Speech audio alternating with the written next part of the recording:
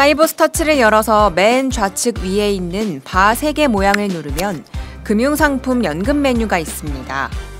이 메뉴를 선택하면 개인형 퇴직연금 IRP 하단 목록에 IRP 이전 신청 메뉴가 보입니다. IRP 이전 신청을 선택하면 IRP 진행 안내 화면이 뜨고 하단에 있는 메뉴 3가지 중 IRP 이전 신청하기를 누르시면 이전 신청 메인 화면으로 넘어갑니다. 이 화면에서는 이체하는 금융기관의 타 금융기관에 가지고 있는 IRP 정보를 입력하면 되는데요. 은행 증권의 경우는 오른쪽에 있는 검은색 세모 버튼을 눌러서 해당 금융기관을 선택합니다.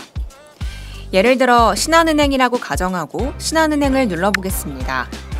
신한은행을 선택하고 대신증권으로 이전하고자 하는 IRP 계좌번호를 입력합니다. 보험사의 경우에는 해당 보험사를 직접 입력하고 이전하고자 하는 계좌번호를 입력하면 됩니다. 이체하는 계좌 유형은 개인형 IRP이므로 개인형 IRP를 선택합니다. 스크롤을 아래로 내리면 이체 의사 확인 방법을 선택하는 두 가지 선택 방법이 나옵니다. 이 중 첫 번째인 전화 통화를 선택하시면 기존 가입회사에서 전화가 옵니다. 그때 대신증권으로 이전 의사를 밝히시면 됩니다. 전화통화 바로 밑에 있는 이체하는 금융기관 방문을 선택하면 해당 금융기관에 방문해서 이전 신청서를 작성해야 합니다. 주의사항은 이체 신청한 날로부터 다음 영업일까지 해당 금융기관과 통화가 되지 않거나 방문해 이전 신청서를 작성하지 않으면 이체 신청이 취소됩니다. 다음은 가입일을 선택해야 하는데요. 대신증권 IRP 계좌에 잔고가 있을 때는 이체 받을 계좌의 가입일을 선택하시면 됩니다.